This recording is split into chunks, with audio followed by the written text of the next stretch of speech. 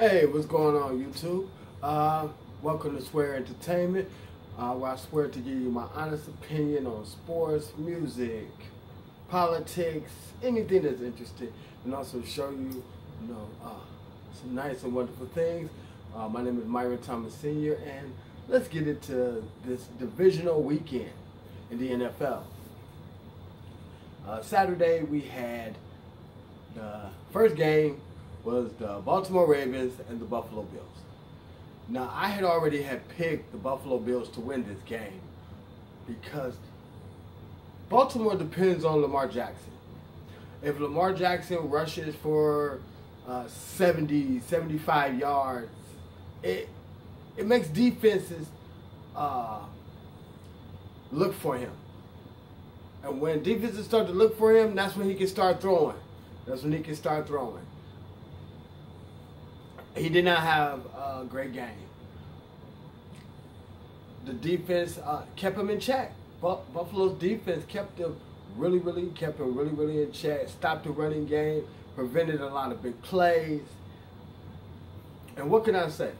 Josh Allen, he's he's going to be the quarterback uh, uh, for the future in Buffalo.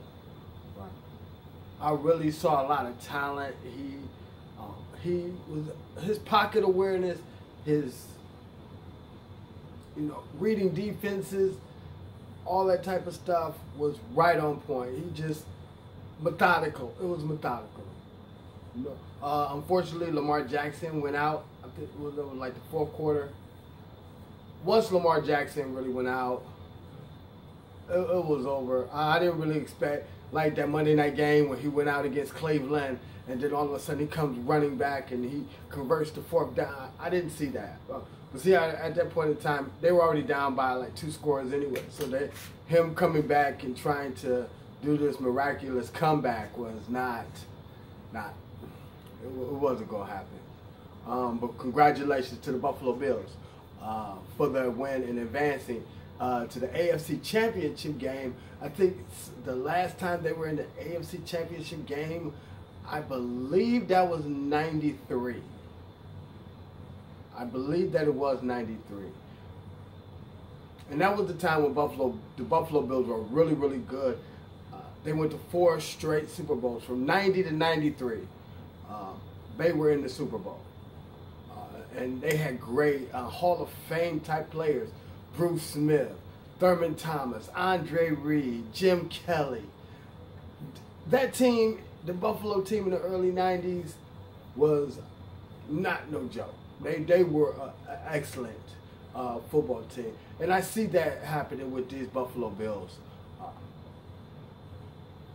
in the years to come. Next game. The LA Rams against the Green Bay Packers.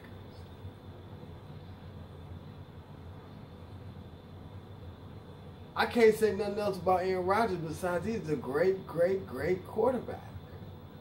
He has probably one of the best offensive lines uh, in in football. He had time in the pocket that he could just pick the defense apart. Only thing he had to do was wait for the receiver to run their routes, and he was hitting everybody. He was hitting everybody. Um, he passed for over 400, uh, uh, like almost 300 yards, with like 286.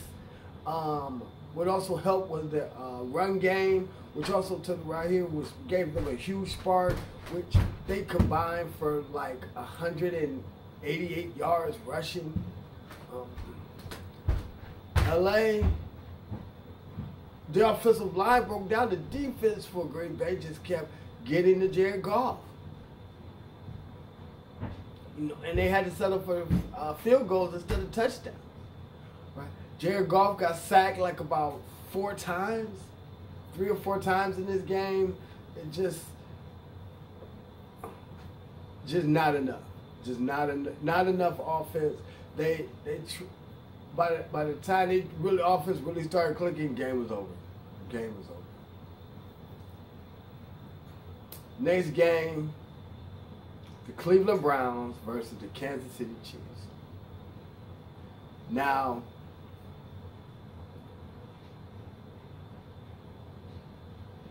I believe that the Browns should have won that game. They kept it very close Besides the two first, the two drives for the two first touchdowns, the defense really settled down and really kept everything in check. You know, uh, no more scores in the end zone. The call for the touchback when the ball went out of the end zone, I thought I thought that was a bogus call, even though I think that, that I guess it's an NFL rule. But I was like, that's the turning point of the game. That's the turning point of the game because you basically you deny him, you deny the Browns the score, and then you also deny them the possession. Unfortunately, uh, Patrick Mahomes goes out for uh, for a concussion protocol, uh, and then they had Chad Henne, who was a 13-year uh, veteran, a, a, a decent backup, decent backup quarterback. The Browns score score is 22 to 17. You get the ball, you're driving. You get down within it's less than three minutes to go in the game. You got fourth down. You go for it. You have nothing to lose. Because if you don't convert the fourth down, they get the ball anyway. But you punt the ball to them, hopefully, hoping that the defense can get you the ball back with enough time. The defense comes, gets a three and out, you get the ball back, and then we score, then we win, bam. But it didn't. Chad Henne uh, is a is a 13 year veteran. You know, he's a veteran. You know, a lot of people don't. Uh, they take that for granted when the backup comes in. That, like for Andy Dalton, is a significant backup. He's a veteran in this league. When he came in for Dak Prescott, there wasn't. I mean, actually, yes, Dak Prescott is the better quarterback than Andy Dalton, but Andy Dalton also is a is an NFL quarterback. He has done the job, so he knows what work. He knows he's we he's done the playbook, all that type of stuff. He so to really believe that because Patrick Mahomes was not in this game and that Chad Henne was in this game, that you turn around here and believe that your defense is going to stop them, that you're going to turn around here and be able to get this ball back with two minutes to go in the game and be able to win this game. It's kind of far fetched. I believe that the Browns should have went for it on that fourth down just to see what happened because at that point you have nothing to lose. You have nothing to lose. You don't make it, they get the ball. You punt them away, they get the ball. Why not go for it? Why not go for it? And I understand that's probably was the philosophy of Kevin Stefanski that we go ahead and uh, we're going to punt this ball. We're going to punt this ball. That we're going to uh, get the ball back, and we're going to have time to get the ball back. But the defense could not stop them.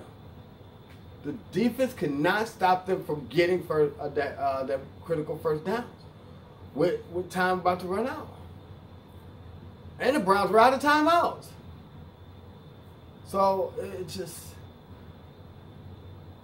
so uh, Kansas City, props to you. Uh, uh, we'll see if Patrick Mahomes will be um, up for uh, able to play next weekend in the AFC Championship game against the Buffalo Bills. But due to pro, uh, concussion protocol, even if he's saying as well, you know, it's up to the doctors and uh, you know NFL, you know, stuff like that, whether or not he'll be able to be able to play. But it should be a fun, fun AFC Championship game. Now, we have for our last divisional round game of the weekend, we had Tom Brady and the Tampa Bay Buccaneers against Drew Brees and the New Orleans Saints. Two quarterbacks who are definitely going to be in the Hall of Fame. Definitely. There is no question, ifs, and buts about it. Why? If they retire at the same time, they probably will go in at the same time because it's all it's almost hard to to say who to pick who over who. No. Uh, both of these teams started off very, very slow. It was it was very, very slow. Uh, both ended up on, on, drives, kick field goals. Um, it was they had a lot, a lot of miscues, a lot of miscues. Right. It was a very tight game all the way up until the fourth quarter. Right. Right. When Tampa Bay took the 23 to 20 lead, Drew Brees threw a very, very, very, very, very critical, critical interception. And that was the game. That was the game. That was the game. I know Drew Brees had came back this year because he wanted to. He believed that with this team that he could win one more.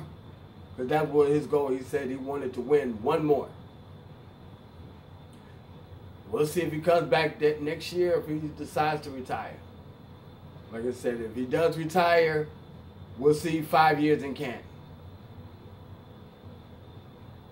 But Tom Brady is moving on to the NFC Championship game to face another future Hall of Fame quarterback in Aaron Rodgers, which that should be one heck uh, of a of an NFC Championship game.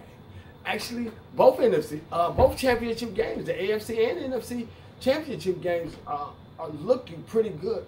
You have the defending champions, Kansas City uh, Chiefs, going up against a team that has not seen a Super Bowl in 27 years.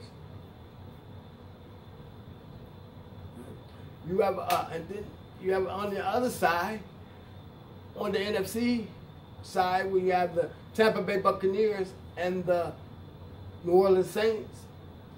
Tampa Bay hasn't seen a uh, Super Bowl in was I think 2000 no 2003 uh, 2003 something like that. I, I had to look it up. I I, I have more uh, facts and stuff for you uh, when I cover when I tell y'all about um, when once the, uh, we find out who is going to the Super Bowl. And I would like to know what are your picks for the uh, Super Bowl? Um, my personal picks at this point, since we know who are in the AFC and NFC championship games, I would really like to see Buffalo and Tampa Bay. But my gut is telling me there's going to be Kansas City and Green Bay. But I would like to see Buffalo and Tampa Bay. I would like the whole, I don't know, to, because see, I love the storylines. I love storylines. I love the fact that, like, for instance, you'll have a team that has not been there in 27 years, young quarterback, young team, against Tom Brady, the greatest of all time, who's went to a new team and has led them right back to the Super Bowl.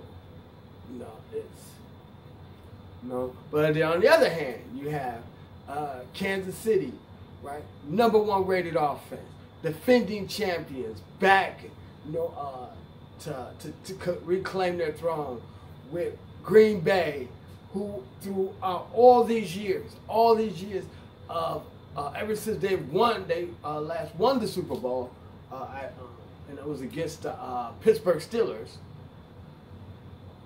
That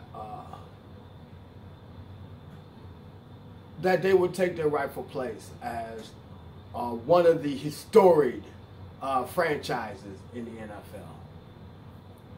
But we soon will see. We soon will see. But it was an exciting weekend. I watched a lot of football, and, I, and I'm getting, I'm getting kind of sad because it's getting near the end.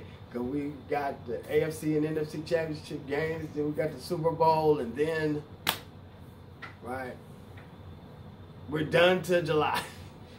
I mean, unless you know, um, we less you know, let, you know, unless you really like. Sometimes I try to get into the combine and all that type of stuff, but we'll get into all that stuff later. Everybody, y'all be easy. Peace.